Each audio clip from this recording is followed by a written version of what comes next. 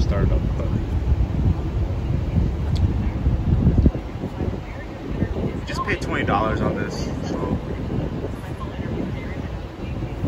yeah. I want to know how much uh, gallons of fuel tank in this car. Ford Explorer, but it's not uh, 2020. Ah, snap. How to fill up gas inside when you're a car.